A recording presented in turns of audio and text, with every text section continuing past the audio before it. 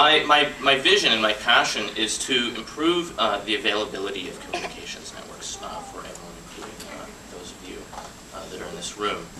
Um, what we don't often see uh, when we're using um, commu- communications networks is that there are actually humans uh, working very hard to keep those networks up for us.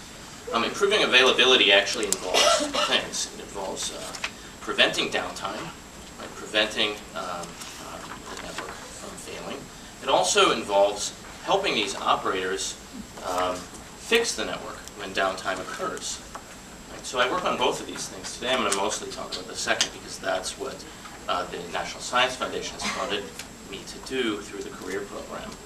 Um, so what I try to do is to um, improve availability um, in the face of faults, that is devices failing, misconfiguration, that is operators uh, messing up, if you will, um, and also malice, right? Uh, bad players uh, coming to uh, play, if you will, on the network.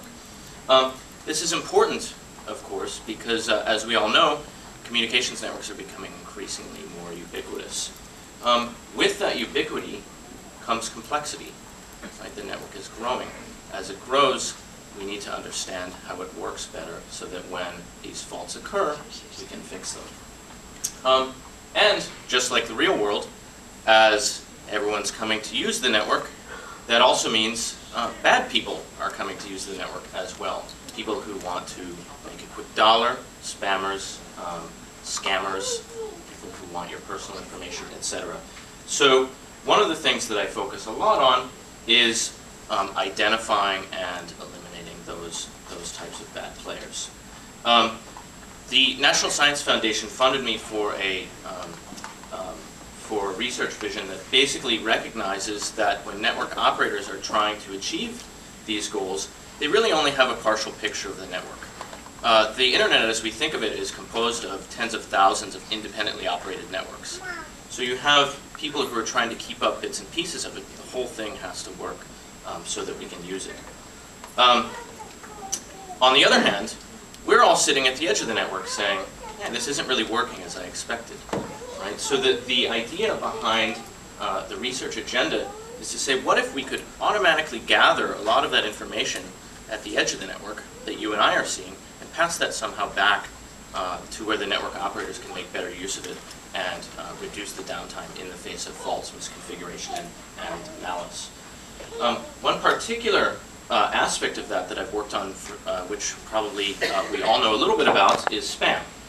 Um, so the traditional way of fighting this is to look at the content of a message, what's actually in there, what the message says. The problem with that is, um, as people try to, uh, to update their filtering mechanisms, um, spammers can change the content to evade those filters. So what I've done is actually instead say, what if we could look at the behavior of, of how the spammers are sending those messages, um, which is a little bit more difficult to change than the messages themselves. You can kind of think of it, um, to use an analogy like telemarketers, right? You know that those guys are always going to call between 5 and 7, right, at dinner time? So um, spammers, right, you don't even have to pick up the phone to know what the message is going to be. So I, I apply a similar analogy to communications networks, right? Without even looking at the message, you can tell um, just in, in how it was sent that it might likely be spam. Um, the, there are many advantages to this, but one of them is that um, there's hope that we can stop spam inside the network before it actually reaches uh, your inboxes.